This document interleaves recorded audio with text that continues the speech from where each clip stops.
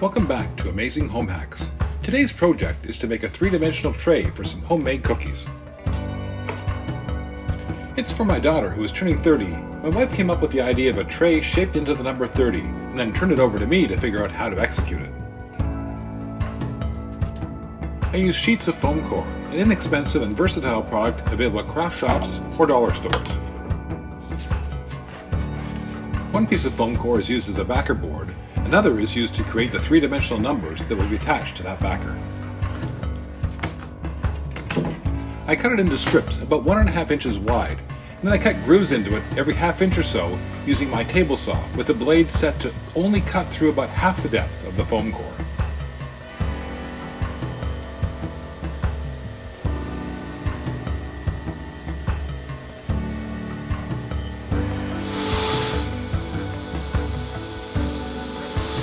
This lets you bend the foam core to shape the numbers. If you don't have a table saw, don't worry. Another way to make the foam core pliable is to use a ruler to put creases into the strips. This also lets you curve the foam into the shape that you need.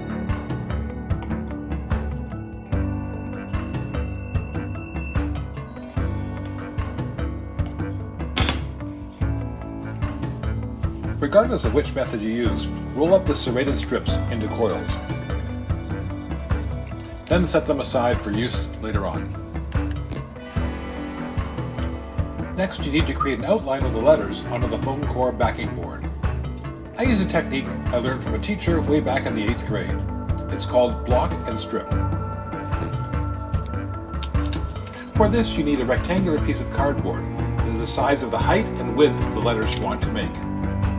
Then you need a strip of cardboard that is the width that you want the letter components to be.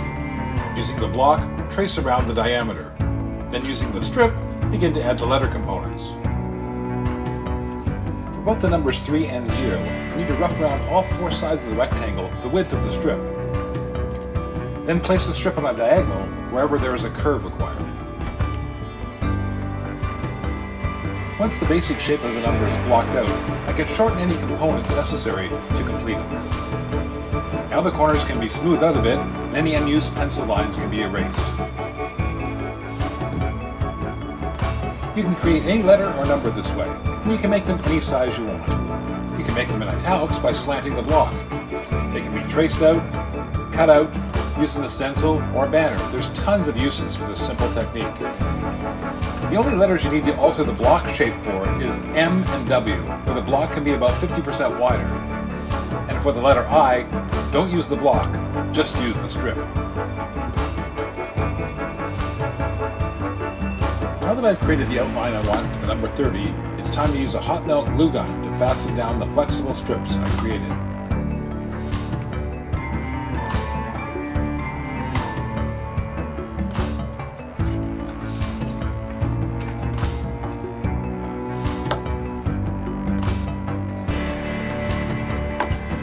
Bit of time and patience to position the strips, give them a shot of glue, and then hold them in place until that glue hardens.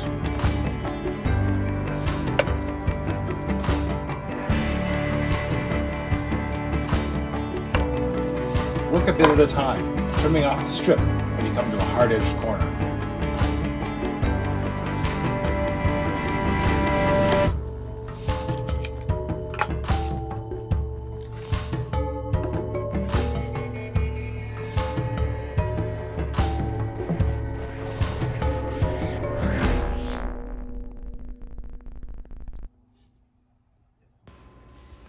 Trim off the edges of the backer board, I just used some white vinyl tape. Once completed, I turned it over to my wife, the baker, to create the cookies that will complete this unique tray.